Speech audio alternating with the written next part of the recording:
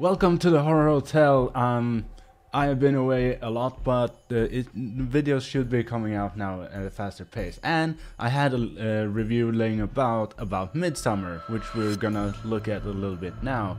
Uh, it should have been out when it was in the cinemas, but since it's getting a Blu-ray release now, why not? So let's get into it. There is a lot to say about a movie like this, and I went into the theater without having seen a single trailer or a teaser like I always do, and in this case I think that elevated my experience.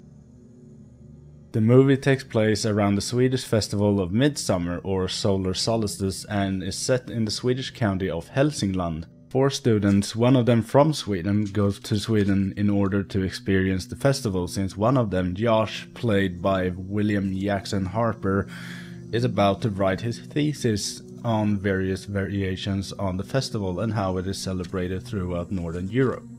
Danny, played by Florence Pugh, tags along with the group since one of them, Christian, played by Jack Reynor, is her boyfriend. Having a major trauma in her baggage, this trip will forever change her life.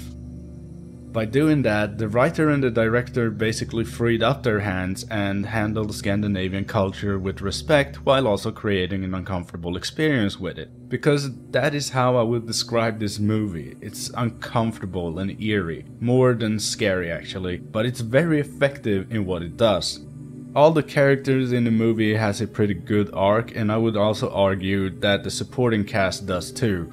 They are written in a very human way and feel all believable and Danny's arc especially is very relatable.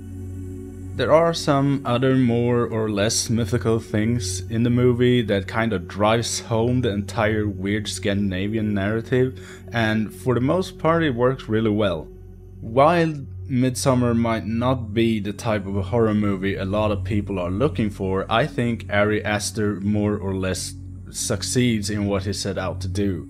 For me personally, I think Midsommar has the perfect mix of horror, discomfort, and funny moments in it in order for me to highly recommend it to people. The only thing missing in it is an unreasonable amount of rain, which is the real tradition of Midsommar everyone for watching that video. Uh, make sure to subscribe and like it if you enjoy the content. Otherwise, just downvote it. Any interaction really is good. You can follow me on Twitter and Instagram if you want to. But Twitter is the best way to follow me around, really.